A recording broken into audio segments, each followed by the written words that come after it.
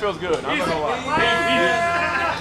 Um, a lot of people in the last 24 hours have asked why the sixth wrestler for the OJ Scramble never got announced, and the truth of the matter is it was going to be Smith Garrett. Um, and I'll let you fill everybody in, but the, the truth of the matter is, uh, about a week ago, you had the chance to step back in the ring in Winston-Salem, and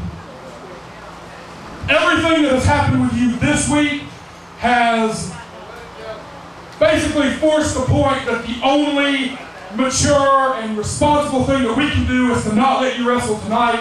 Uh, but I do want to give you the opportunity to update everybody uh, on what has happened since the night that you got knocked out of the ring, and uh, hopefully what we can look for for the future. Last week, as Brad mentioned, I did have the chance to get back in the ring, and I got to admit, during the match, it felt really, really good. To be perfectly honest, thank you.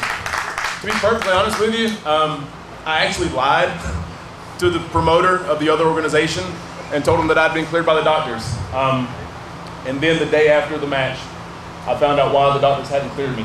Um, they've told me that the swelling on my brain has gone down, um, so that's good news, but I'm still having some lingering after effects, um, some very sharp headaches that I've been dealing with this week, even today actually, and we're just gonna take some more time. But hopefully, with the doctors helping me out and listening to the doctors this time, I'll be back sooner rather than later. We all hope that. You know, the thing with concussions is you just never know. It might be uh, six weeks, it might be six months. But we are gonna we are gonna welcome you back just as soon as possible. No, that's fine. No, no, no. You got no. That train is never late, my friend. I'm sorry. I was also on the same show. I'm not sure if you guys saw me a couple weeks ago. I got knocked out here. And I wrestled last week. And I'm still wrestling tonight. I, I guess that means I'm just more of a man than you, Smith. I, I mean, that makes you half a man, right?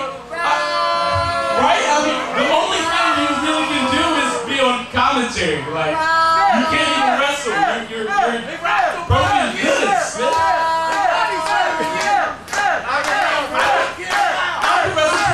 I don't care. I'm good. Yes.